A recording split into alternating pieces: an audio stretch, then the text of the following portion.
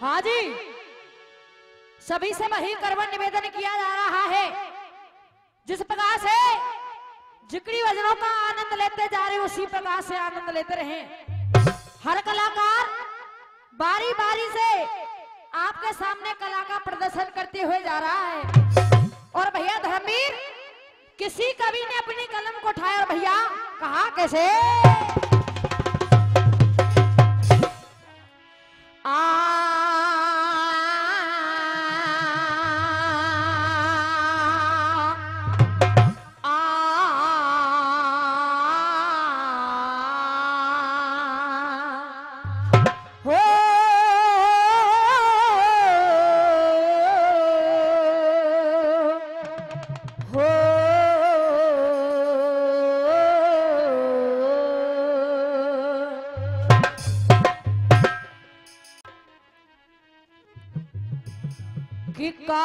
कोयले के रंग। और बैठे कई बाग। और भाषा से पहचानियो।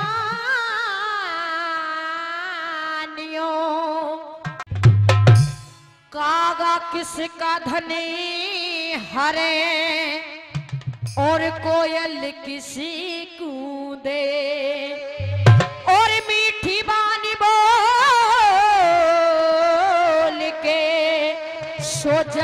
अपना कर ले। शुरुआत साखी से। और भैया, रावण की पत्नी मनोदर बार बार समझा रही है स्वामी, इस सीता को लौटा दो। लेकिन रावण कह रहा है, और भैया धर्मवीर, कहा कैसे?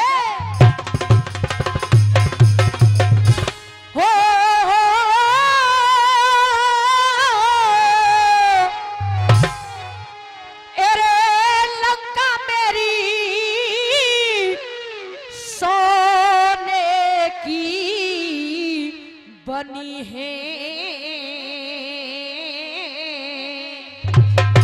और मनोदर हो मनोदर और मनोदर नार जाके समद।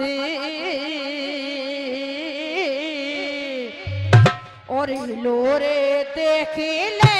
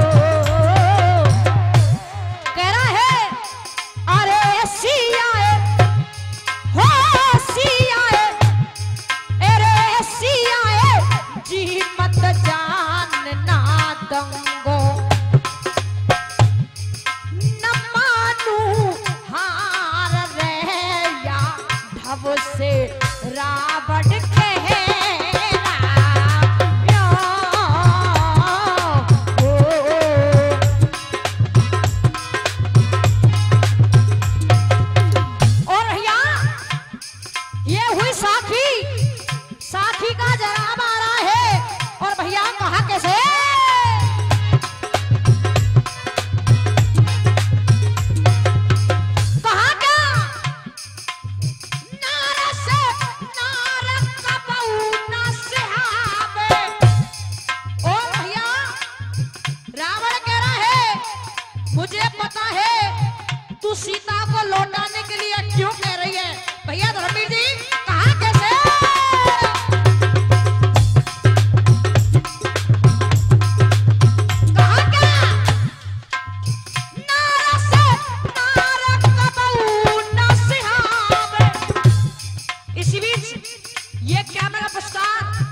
हिम्मत सिंह सोलंकी उनकी तरफ़ से आया है।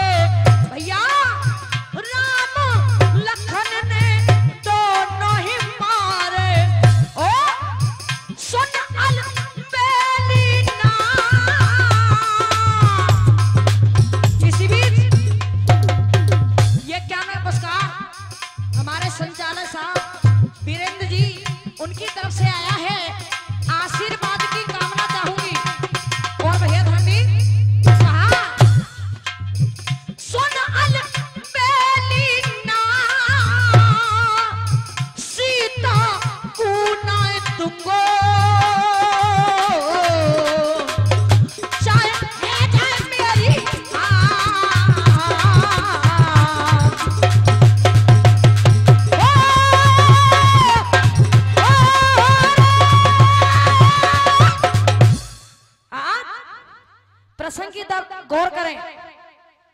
आज कृष्ण भगवान पाँचों पांडव छठवीं रानी द्रौपदी को आज भीषम पिता के पास में लेकर के पहुँच जाते हैं। जहाँ पर भीषम पिता आज सरसैया पे सोए हुए हैं।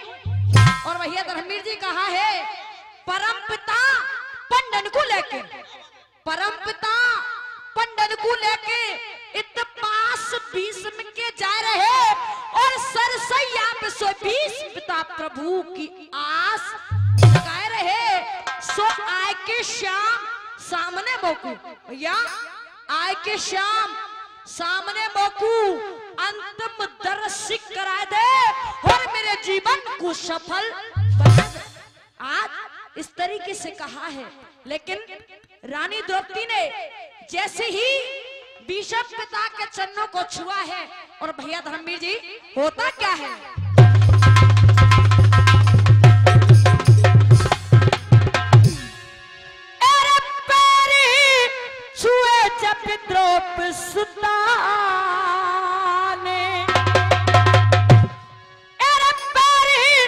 छुए छुए द्रौप सुता ने और बाबा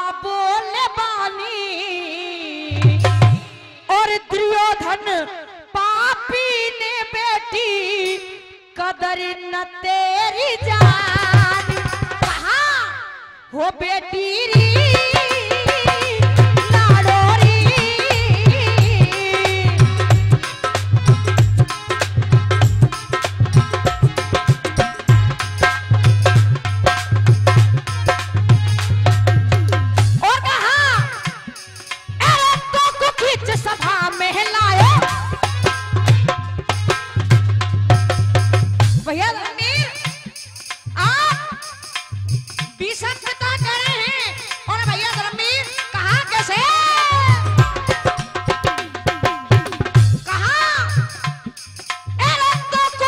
सभा में लायो। इसी बीच ये पुरस्कार बड़े भाई वीरेंद्र चौधरी जी, उनकी तरफ़ से आया है। आशीर्वाद की कामना चाहूँगी। और भैया, कहा कैसे?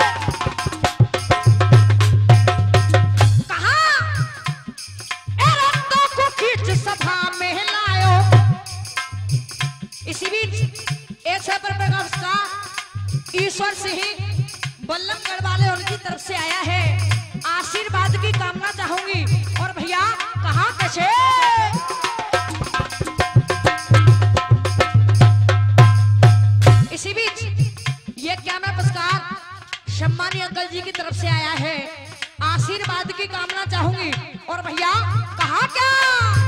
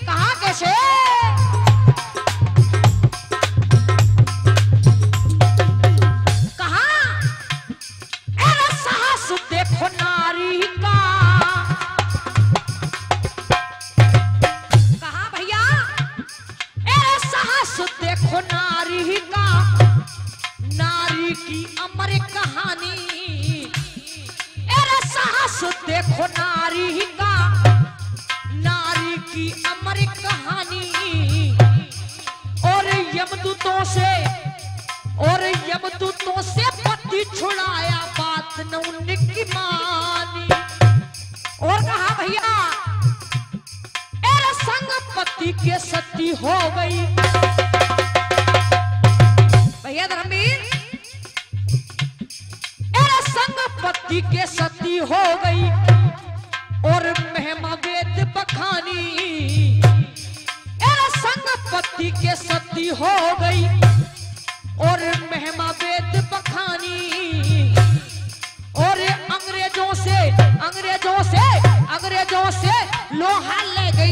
Shiva.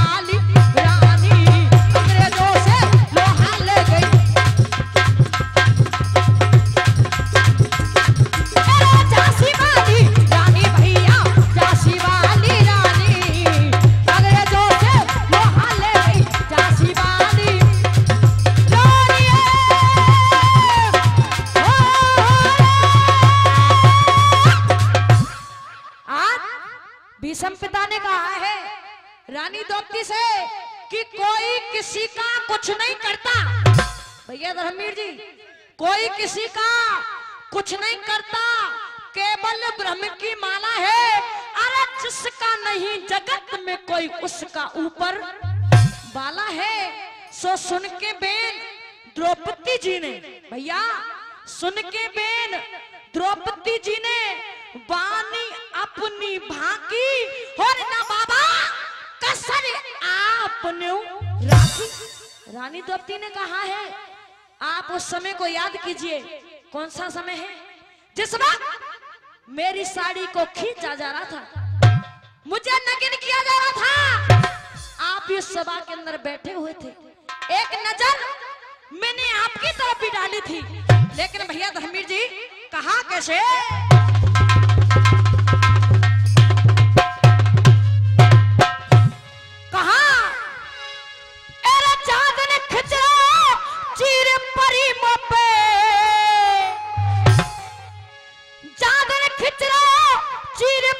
पे और फिर आपसे बोली।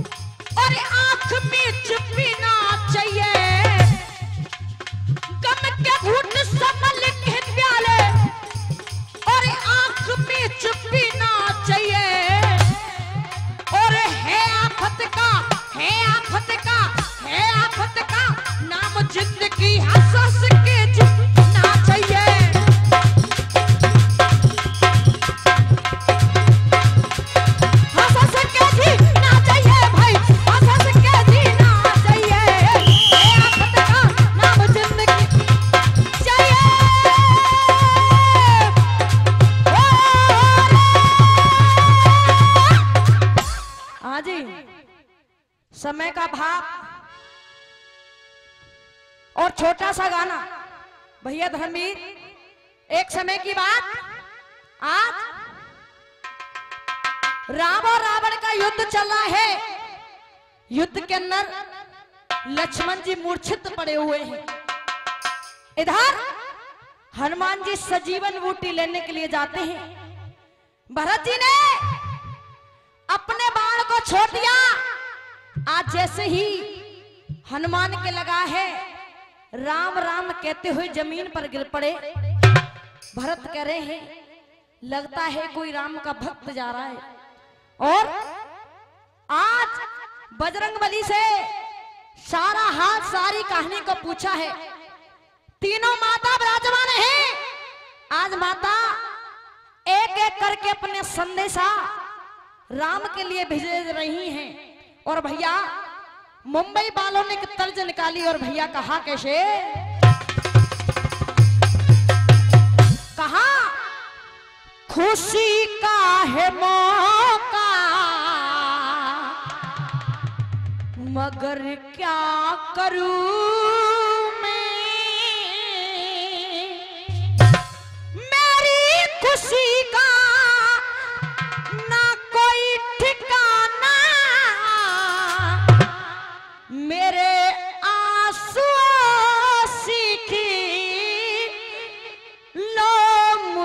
मुस्कुराना आज सुमित्रा माँ कह रही हैं, और भैया धर्मवीर, कहा कैसे? बजरंग बली से सुमित्रा माँ बोली